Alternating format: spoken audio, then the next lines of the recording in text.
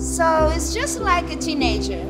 It's temperamental, has to constantly be moving, needs to be appreciated, and requires lots of attention.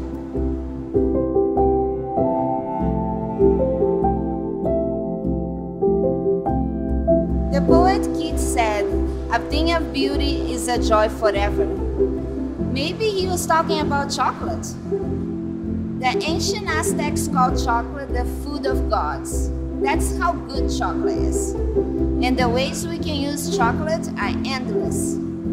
From a simple chocolate chip cookie to a ganache to cover a beautiful cake, or can even be sprayed to form a velvet layer on a dessert.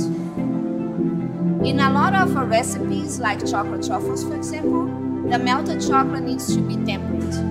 In simple terms, tempering is the process of carefully heating up the chocolate, cooling it down, and raising the temperature back again just a little bit. If we temper it just right, we'll form better crystals, which give a nice glossy shine, a crispy snap, and a pleasant texture in your mouth. The Beatles sang, all you need is love. But a little piece of chocolate now and then doesn't hurt.